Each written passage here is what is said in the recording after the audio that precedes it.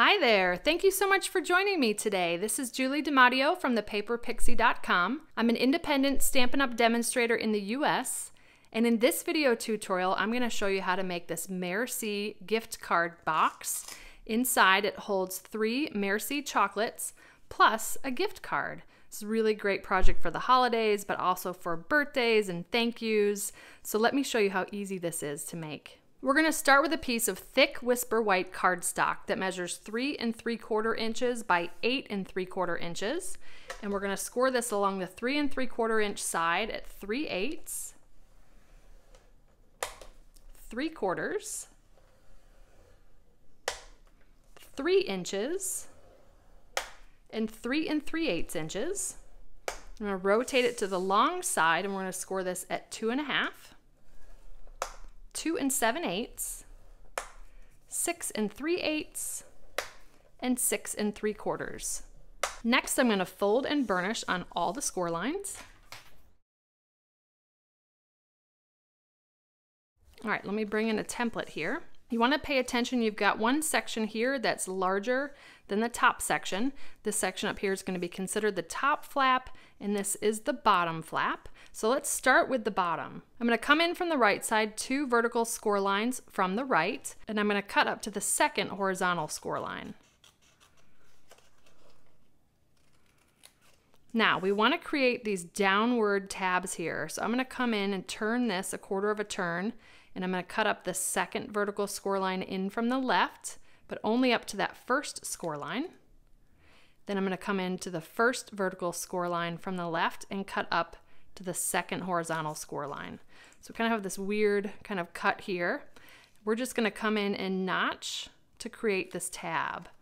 And it's important that the tabs go up and down in this direction so that these tabs don't get in the way of the Merci chocolate. So you just want to make sure you're cutting your tab to point downwards. I'm going to repeat the same thing on the other side, coming into the second vertical score line from the left, cutting up to the second horizontal score line, quarter turn, cutting up the second one in to the first one up, and then first one in to the second one up. Then we're just going to come in and notch and create this little tab that points downwards. Like so. So the bottom part is done. Now turning this to the top, we're just going to come in the second score line in from the right, cutting up to the second horizontal score line, and we're going to remove these four sections in the corners. So I'm going to go ahead and do that. Again, going up to that second horizontal, turning it, coming into the second vertical, and removing those four sections in the corner. Same thing on the opposite side.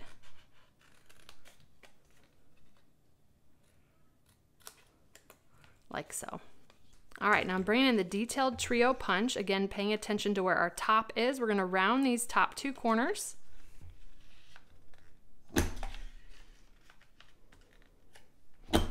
Then I'm also gonna fold on the second score line. So we have this flat edge here and I'm gonna round these two corners. So the corners opposite where the tabs are. That's just going to give this box a really nice finish. So now our base looks like the template. Okay, I've got three pieces of the Wrapped in Plaid Designer Series paper. The largest measures 2 and 1 8 by 3 and 3 eighths. The next largest measures 2 and 1 8 by 2 and 3 eighths. And then the smallest, which is actually in landscape, measures 2 and 1 8 by 1 and 7 eighths.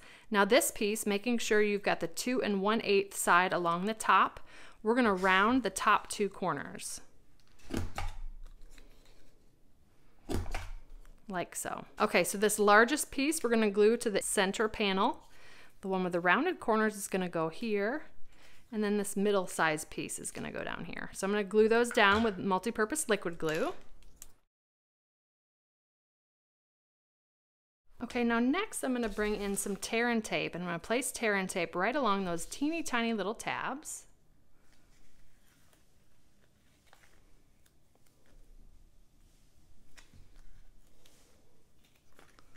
Then I'm also gonna flip this over and down by the tabs, we're gonna run this right along the edge here. on both sides. I'll bring it closer to the camera in a second. So I've got tear and tape on each of these little tabs and then here right along the edge up to that vertical score line. So I'm going to start with the tabs. Let's go ahead and remove the backing off the tear and tape. If you have any tear and tape that's kind of hanging over the edge, just fold it back onto itself. And then we're going to line up this score line with this cut edge to form the bottom of our box.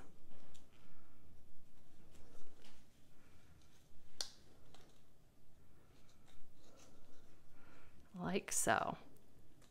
Now the next thing you want to do before we glue this together is this is a little tip. So go ahead and put in your gift card and your three Merci chocolates. That's going to give you a little bit of leverage to get this glued down. So I'm just going to come in and take off the backing of the tear and tape here. And then we're just going to fold this up. I'm going to kind of take my time here, but we want to make sure that when we do adhere this, that we're lining up this edge here. See that? And having the chocolates in there gives us a little bit of leverage to press that piece down and be right into place. See that? So cute. I love that little rounded edge there. Gives it a nice finish. Now we're going to add a little Velcro dot here. I found these on Amazon. They're called thin clear fasteners. They're 5 eighths of an inch in diameter. You get 75 of them.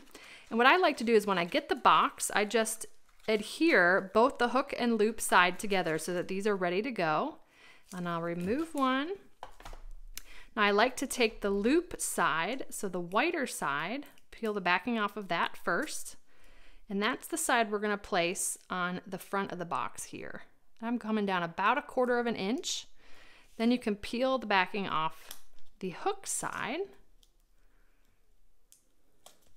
and then I'm just gonna close my box, make sure it's in the right position before I press down. And then we'll pick up that Velcro dot and just press it again into place.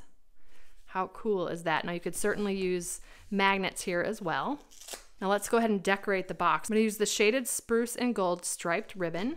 I'm just gonna kind of run this underneath here and close the box. This lid will give me a little bit of leverage and I'm gonna go ahead and tie a bow. And then just a little trick to get that ribbon to stay in place. I'm gonna grab a mini glue dot and just hide it underneath the knot. And then let's go ahead and do a little bit of stamping.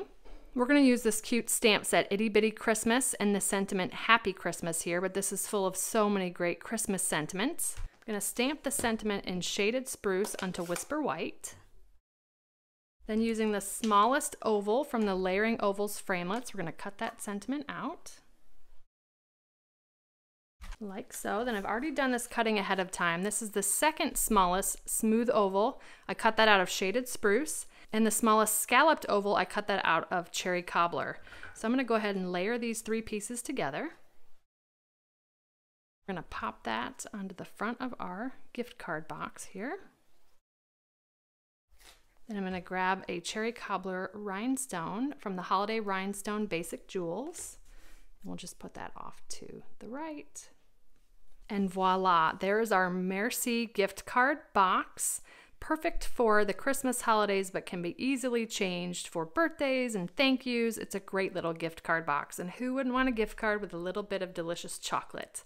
So thank you so much for joining me today. If you enjoyed this video, please give me a thumbs up and subscribe to my channel so you don't miss my next video. If you're interested in purchasing any of the Stampin' Up! products I used today, they'll be linked in the description. And I'll also include a link to my detailed blog post with all project measurements, details, and a picture of the template. I'd love to have you come visit me at thepaperpixie.com where I post projects every weekday to inspire you. I have options to subscribe to both my monthly newsletter as well as my daily blog updates, and I'd love to welcome you as a new subscriber. You can shop with me anytime at thepaperpixie.com slash shop. And if you'd like a discount on your Stampin' Up! purchases, the starter kit is the ultimate bundle, and I'd love to welcome you to my team of Paper Pixies. You can purchase the starter kit at thepaperpixie.com slash join. If you don't already have a demonstrator and you'd like a complimentary copy of one of our catalogs, you can submit a catalog request at thepaperpixie.com slash catalogs. And if you give this project a try, I'd love to see what you made, so feel free to share it on social media with the hashtag PaperPixie, and I'll be sure to check it out. Thanks again for watching. I hope you have a wonderful and blessed day. Take care. Bye.